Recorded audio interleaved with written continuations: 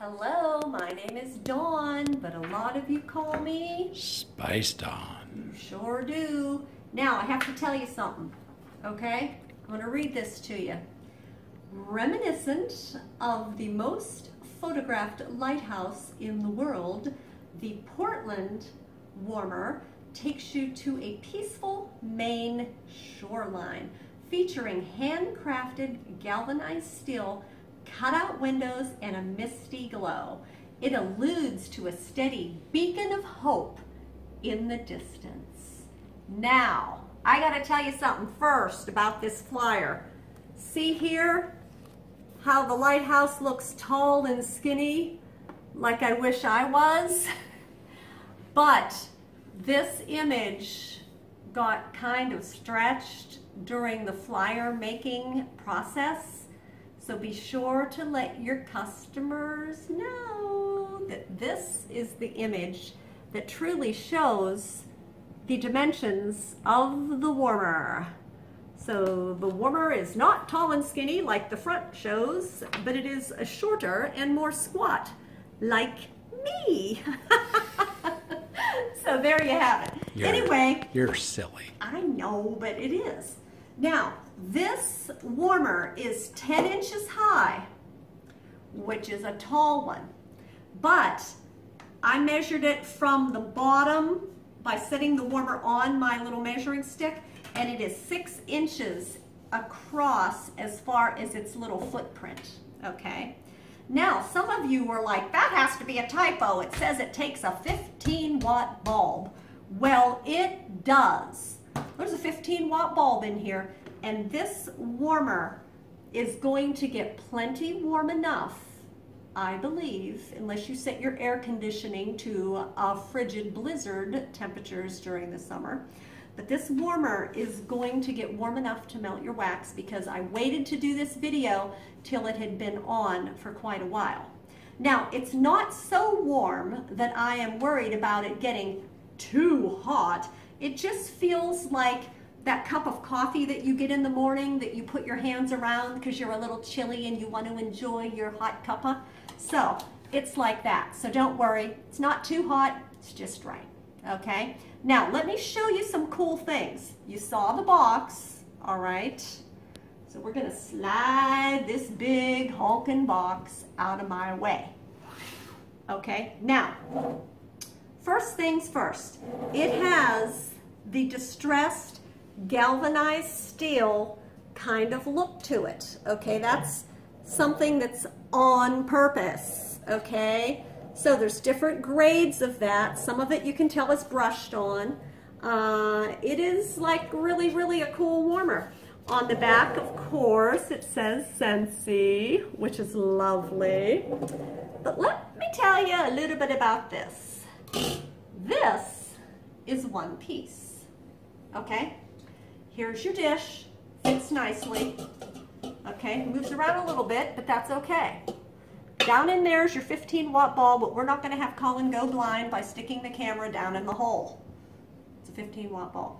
Now, when I first opened mine up, now remember, your warmer lived in a box its entire life until you open it. So, I suppose if I lived in a box and was brought by water, air, and ground, that I might get a little bit of wear and tear. So, I had a tiny, a little like, eh, I wouldn't even call it a dent. I would just call it just a little eh. So, because I'm handy and Colin was busy, I got out my pliers, not needle nose, but the regular clampy kind, and I just put it on there and I went eh, real easy. And I fixed my little like ding. I don't want the whole world trying to send these back because there's like some little thing and they're like, oh, my lid fits crooked. Oh, just, just fix it. I mean, it's not a big deal. This stuff, although do not push it with your hand because this is as sharp as a razor blade. I had to tell Colin that because I didn't want him bleeding all over the camera when he was doing the video. So, pliers. If you want to make sure you don't scuff the finish, take a little paper towel, fold it over, put it there as a buffer for both inside and out if you want to adjust. Now, there's a lip. When you look at your glass, you can see there's a little lip here. So if you want that to fit just so, you can push it down a teeny little bit. Now, keep in mind that when you go to take the lid off, put your hand on the warmer when you wiggle your lid off. Because I don't want anybody doing a wax change and be like, wah! You know, so I'm just telling you. Tin, galvanized steel, it's probably not tin, but galvanized steel is a funny creature and it is subject to the whims of gravity. It's just play with yours a little bit. Don't rub your finger on it. You'll be bleeding and all these consultants all across the world and all these customers will have to take out stock in Band-Aids. Okay, so just do that. But um, you can get it to fit just how you like. Colin, would you like to tell them how you did it? Well, I used the black handle pliers, which as you say are normal pliers, not needle nose pliers. And I just very carefully went all the way around and very, very slightly lifted it to, Like- en- to enlarge it slightly, slightly, so it wasn't overly tight. Right. But remember, because this is angled, getting bigger as you go, you're always going to get it, you know, wanting to slip down onto the warmer. So like I said, when you go to take your dish off or your lid off, just grasp the bottom and give it a little push and it'll come off nicely if you choose to jam it down on there so you don't have like a little line of light showing. But I just love this warmer.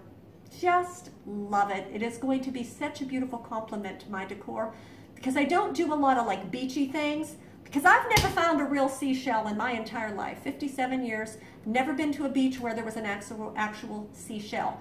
Lots of beach glass, but no shells. So this kind of beachy, lakeish, well, I guess you don't need lighthouses on lakes, do you? Oh yeah, Lake Erie has a bunch. Oh, you're right. Okay, you're right. I forgot about that. Okay, so beachy, lakey, this is going to be the perfect, perfect decor. So, I know your customers are going to love this warmer as much as mine do. This is already promised to one of my besties. So, let's talk about the scent. It is called Harbor's Edge. Now, it's nice. I wouldn't even call this a manly scent. It's crisp. It's got a little bit of a bite to it. Like, very nice.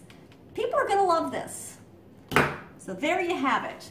Feel free to share my video if you didn't get yours yet and you want to show this beauty off. And uh, like I said, your customers are going to love it as much as mine do.